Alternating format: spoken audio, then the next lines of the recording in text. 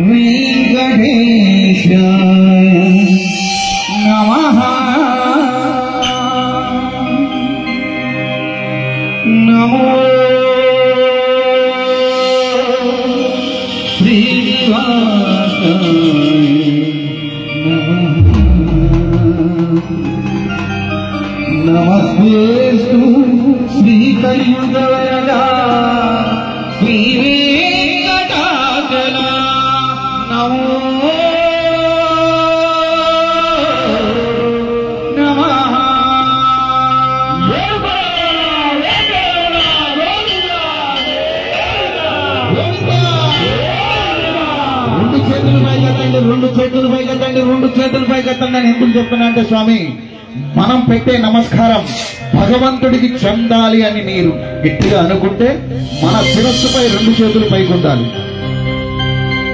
మనం పెట్టే నమస్కారం మన గుండెల దగ్గర ఆగిపోతే మన ఎదుటి వారికి పెట్టే సంస్కారం అవుతుందే కానీ నమస్కారం భగవంతుడికి చెందదు. దయచేసి ఏ భగవంతుడి దగ్గరికి వెళ్ళినా కూడా మనం పెట్టే నమస్కారం ఒకసారి రెండు చేతులు పైకెత్తి ఏడుకొండల వాడ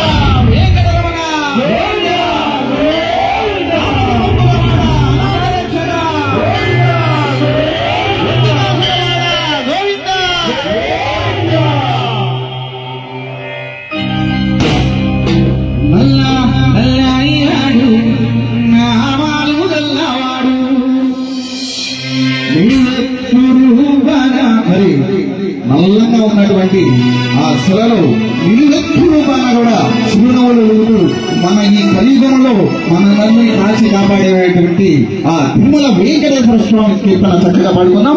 ఏడుకొండవాడా, వెంకటరమణ,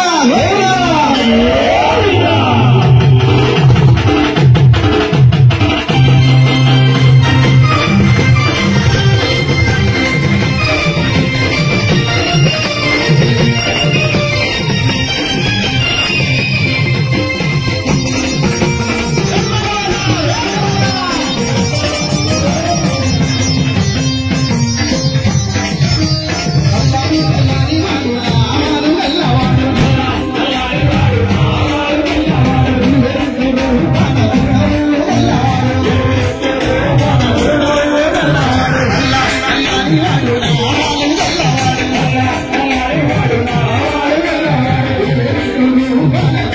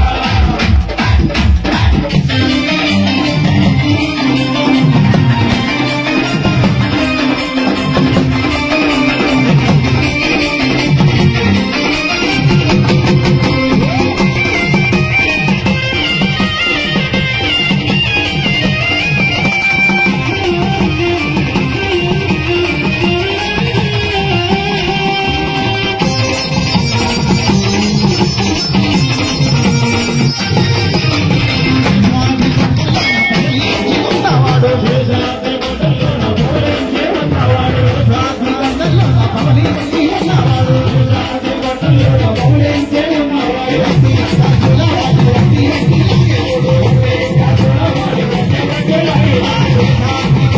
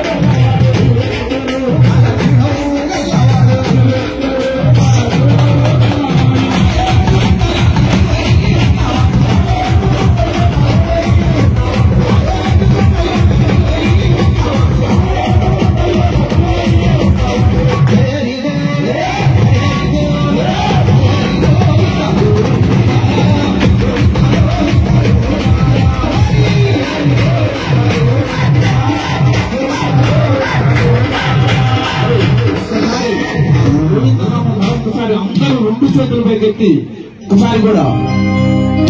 మరి సగం మందికి ఎక్కేసాము పూర్తిగా ఎలా చెప్పారు మనం పెట్టే భగవంతుడి నమస్కారం. మన శిరస్సు పై ఉండాలి. గోవిందా హరి గోపాల